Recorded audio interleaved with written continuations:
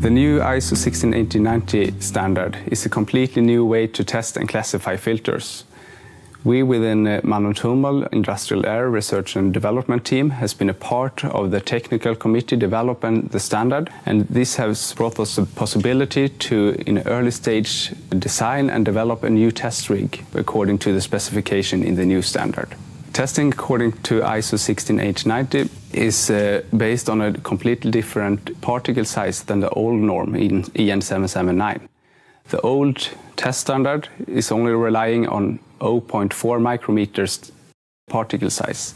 In the new ISO test standard, we will test filters from the complete range from 0.3 micrometers up to 10 micrometers.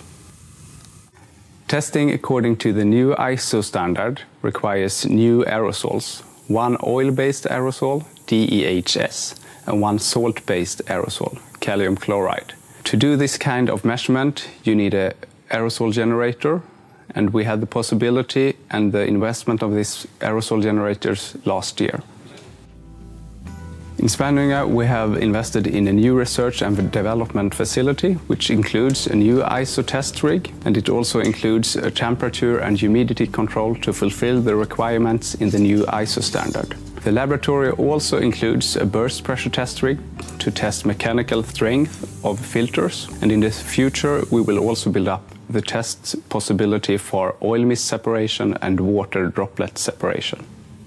The aim with the investment in our new testing facility in Mann+Hummel, Sweden, is to make it possible to test and qualify filters according to the new standard. In that way, we will be able to deliver filters to be fitted in your air handling units.